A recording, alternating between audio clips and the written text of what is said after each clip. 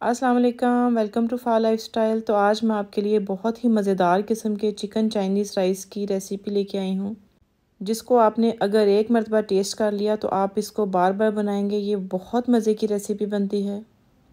In rice का काफ़ी हद तक टेस्ट वैसा था जैसा कि प्रोफेशनल्स देग में बनाते हैं। तो इन मज़ेदार किस्म के चावलों को ज़रूर बनाइएगा और ज़रूर इंजॉय कीजिएगा। तो चलें, सबसे पहले इसका एक स्पेशल सा मसाला है, वो रेडी कर लेते हैं। सफ़ेद ज़ीरा डाल लेंगे, दो चाय के चम्मच, दो बड़ी इलायची, दालचीनी की दो छोटी स्टिक्स जायफल चौथाई हिस्सा, बादियान के दो फूल, जवित्री एक मीडियम साइज़ की, और इसमें लौंग डाल लेंगे तीन से चार अदद। तो जो पिसा हुआ मसाला हमने रेडी किया है, वो इसमें डाल लेंगे सारे का सारा। नमक इसमें डालेंगे डेढ़ खाने का चम्मच अध कुटी मिर्च डेढ़ चाय का चम्मच खुश्क धनिया पाउडर डालेंगे इसमें डेढ़ चाय का चम्मच, लहसुन का पाउडर और अदरक का पाउडर एक एक चाय का चम्मच इसमें डाल देंगे। काली मिर्च पाउडर इसमें डाल देंगे डेढ़ चाय का चम्मच, ज़ीरा डेढ़ चाय का चम्मच, चार से पाँच सब्ज़ मिर्चों का पेस्ट डाल देंगे और साथ ही इसमें डाल देंगे एक खाने का चम्मच इसमें चिकन पाउडर। मसालों की तैयारी कंप्लीट हो गई है, अब कुकिंग की तरफ़ चलते हैं। आधा कप कुकिंग ऑयल लेंगे, मीडियम साइज़ का एक प्याज लेंगे, उसको बारीक काट लेंगे। प्याज़ों को हमें जस्ट ट्रांसलूसेंट सा करना है, कोई कलर नहीं आने देना। चावलों में जो डार्क कलर आएगा, वो सोया सॉस की वजह से और काली मिर्चियों की वजह से आएगा। याद रहे कि अगर प्याज़ों को हम डार्क कर देंगे और इसके ऊपर कोई सा भी कलर आ जाएगा तो इसकी वजह से जो चावल हैं, वो पुलाव टाइप बन जाएँगे और उसका टेस्ट भी पुलाव जैसा होगा चाइनीज़ राइस जैसा बिल्कुल नहीं होगा। तो ये देखें, प्याज़ों का जस्ट इसमें से कच्चापन सा दूर हुआ है। अब इसमें चिकन डाल देंगे वन के जी आप इसमें बोनलेस भी इस्तेमाल कर सकते हैं। मैंने विद बोन्स यूज़ किया है। अब चिकन डाल के भी जस्ट हमें चिकन का कलर चेंज होने तक इसको फ्राई कर लेना है इसमें। क्योंकि अगर चिकन को भी बहुत ज़्यादा फ्राई करेंगे तो इसकी वजह से भी प्याज़ों पे कुछ कलर आ जाएगा। ये देखें चिकन ने अपना कलर चेंज कर लिया है। अब इसमें ऐड करेंगे एक टमाटर। मीडियम साइज़ का टमाटर लिया था, जिसके मैंने छिलके उतार लिए थे। इससे ज़्यादा इसमें टमाटर यूज़ नहीं होगा। टमाटर डालने के बाद एक से दो मिनट के लिए हम दोबारा इसे कुक करेंगे।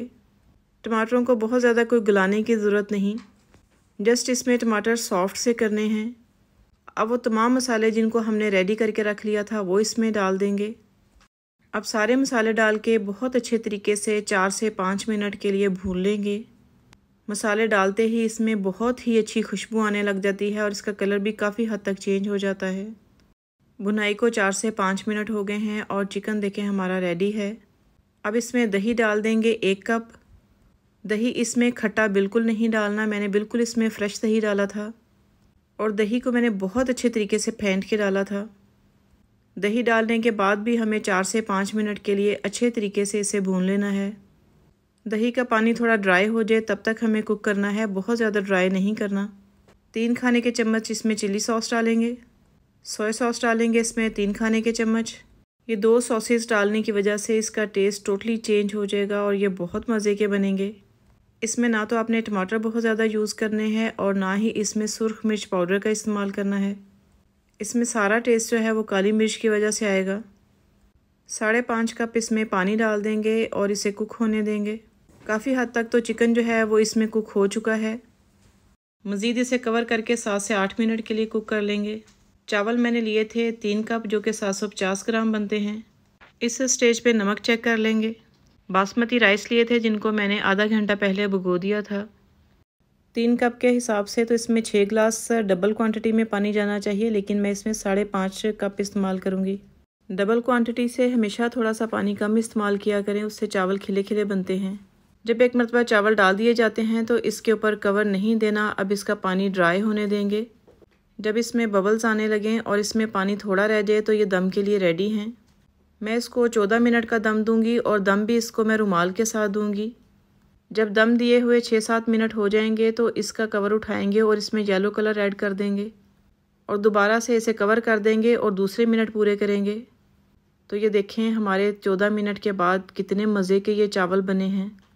एक एक चावल इसमें देखें अलहदा है। और चाइनीज़ टच के साथ बहुत परफेक्ट ये राइस बने थे। बहुत थोड़ा सा कहीं कहीं इसमें कलर आता है।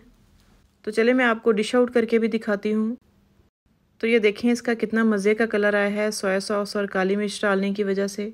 आप लोगों को अगर ये रेसिपी अच्छी लगे तो मेरे साथ अपना फ़ीडबैक ज़रूर शेयर किया करें। और अगर आप इस रेसिपी को ट्राई करते हैं तो भी मुझे बताइएगा कि आपके ये राइस कैसे बने। तो चले मिलेंगे किसी नेक्स्ट रेसिपी में। अपना बहुत सारा ख्याल रखिएगा। Thank you so much take care अल्लाह हाफिज़. Bye bye